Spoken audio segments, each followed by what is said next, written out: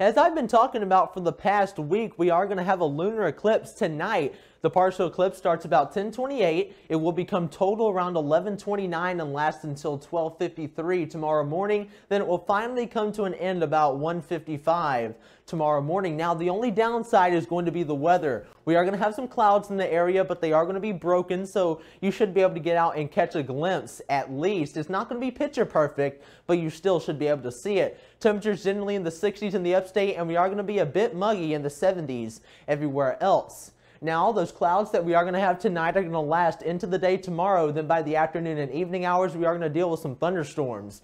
Temperatures about 89 degrees in the upstate and in the low 90s everywhere else. Now, if we do get a couple of thunderstorms, they do have the possibility of being strong. We only have a marginal 1 out of 5 risk of severe weather, so of course isolated thunderstorms, they are going to be short-lived, but we do have to keep an eye out for 40 to 60 mile per hour wind gusts and hail up to an inch. Now tracking this out on the future radar, about 12 o'clock, not much activity. Then by the afternoon heating hours around 4 o'clock, here comes some showers and thunderstorms starting to fire up.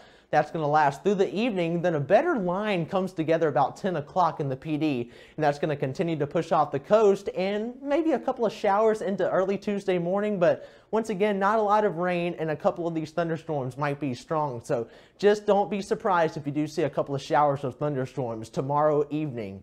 Now by your Tuesday, we are going to start to clear out. We are going to cool off just a bit, but still we are going to be pretty hot. 88 degrees in the upstate and Pee Dee and 90 degrees in the Midlands and Low Country. Now, I haven't given it a mention recently, but the pollen is still pretty high, mainly in the upstate and Pee Dee. You see it's getting up to a 10 in both of those regions. In the Midlands and Low Country, it's a little bit lower, generally between a 7 and an 8, but even getting up to a 9 in the Midlands by Thursday. Your top allergens are oak, hickory, grass, and birch.